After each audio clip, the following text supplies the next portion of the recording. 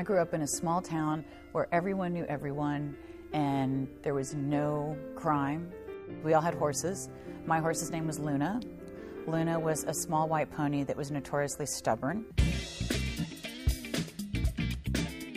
Now, working at, QVC is crazy. It's very high energy, it's extremely erratic, it is extremely demanding, but it's a lot more fun than most jobs, and it's a lot more entertaining than most jobs, and you really get to just meet amazing people and people you've always wanted to meet and people that end up becoming great friends and it is it's a great group.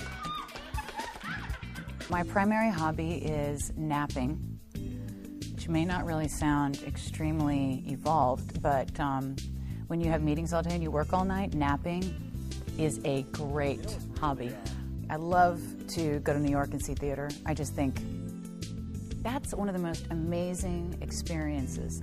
New York, with the energy of New York and the theater of New York, is, is amazing.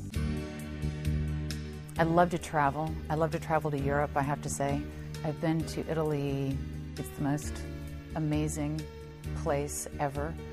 I counted and I've been to 17 countries.